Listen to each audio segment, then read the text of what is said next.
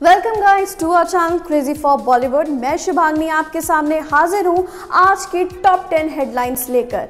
तो चलिए शुरू करते हैं आज की बॉलीवुड खबरों का सिलसिला। नंबर वन शाहरुख खान की जवान का रिलीज़ डेट चेंज हो गया है। बताया जा रहा है कि 2 जून से डेट बदलकर 25 अगस्त कर दिया गया है। दरअसल फ़िल्म के वीएफएक्स के काम में उम्मीद से ज़्यादा समय लग रहा है। टीम ने फैसला लिया है कि बुरे वीएफएक्स से अच्छा ये है कि वो रिलीज़ डेट को ही आगे बढ़ा दे। इस फ़िल्म के वीएफएक्स पर रेड चिली समेत कई विदेशी कंपनियाँ भी काम कर रही हैं, ताकि बेस्ट वीएफएक्स के साथ फ़िल्म को जल्दी पूरा किया जा सके। इसी के साथ अटली बहुत क्लियर है की वो दर्शकों के लिए बहुत ही ज़्यादा बेहतरीन fine tuned world class product देने वाले है।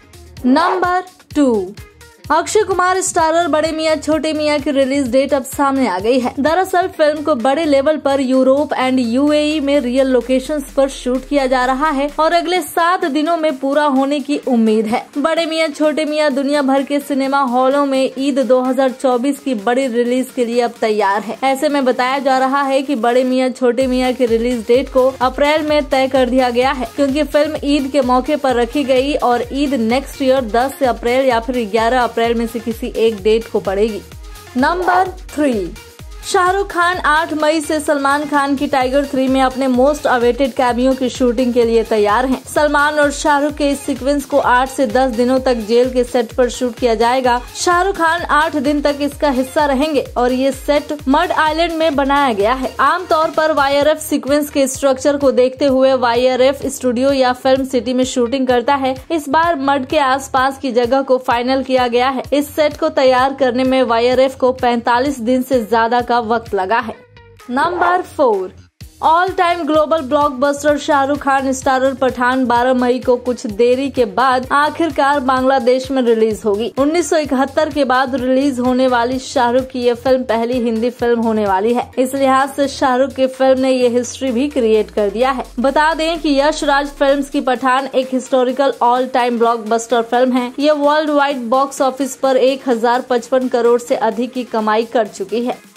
नंबर फाइव शाहरुख खान की फ़िल्म जवान के साथ अब रणबीर कपूर और सनी देओल का क्लैश होने वाला है, क्योंकि शाहरुख की फ़िल्म अगस्त में रिलीज़ हो रही है। इसी के साथ रणबीर की एनिमल को 11 अगस्त के लिए शेड्यूल करके रखा गया है, और सनी देओल की फ़िल्म गदर टू भी 11 को ही रिलीज़ होने वाली है। ऐसे में अगस्त में महामुकाबला होने वाला है।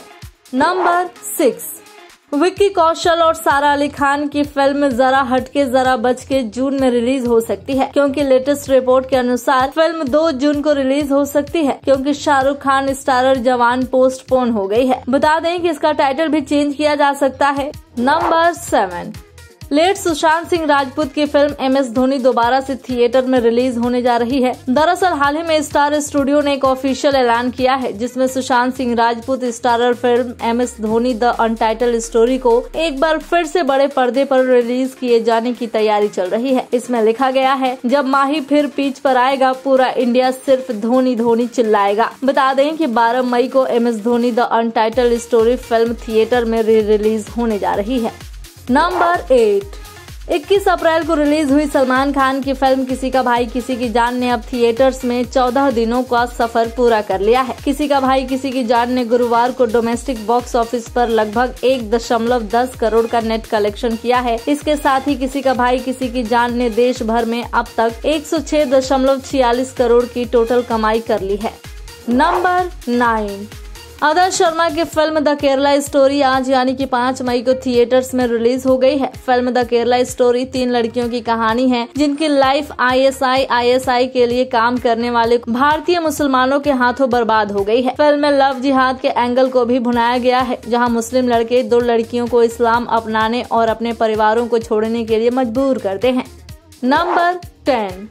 अटल बिहारी वाजपेयी के किरदार में ढल गए पंकज त्रिपाठी। जी हाँ फ़िल्म मैं अटल हूँ की शूटिंग का ऐलान अब कर दिया गया है। दरअसल खबर है कि अब जल्दी ही मैं अटल हूँ की शूटिंग शुरू होने वाली है। बता दें कि मैं अटल हूँ का ऐलान बीते साल 28 जून को किया गया था। फ़िल्म का डायरेक्शन रवि जाधव कर रहे हैं, जो अपने काम के लिए नेशनल अवार्ड भी जीत चुके हैं। बॉलीवुड की latest news gossip film reviews song reviews के लिए सब्सक्राइब करें हमारे चैनल क्रेजी फॉर बॉलीवुड को। And yes don't forget to press the bell icon ताकि हमारे चैनल पे आई कोई भी नई इन्फॉर्मेशन आप बिल्कुल भी मिस ना कर पाए।